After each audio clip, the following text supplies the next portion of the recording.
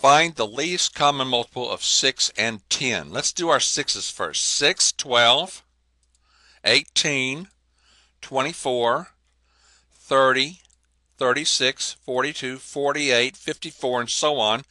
And one after that would be 60. We ran out of space, huh? Just goes on and on and on. Okay, for uh, 10, 10, 20, 30, 40, 50, 60, 70, 80, 90, 100, 110. All right, now the smallest multiple we're going to have is 30 here and 30 here. So that's the first multiple. Then you have 60 here. If you keep on going on this list, the next one on this list is a 60. And you have 90 here. You'd have 90 up here also. Okay, and 120. The least common multiple is the first one we listed up there is the 30.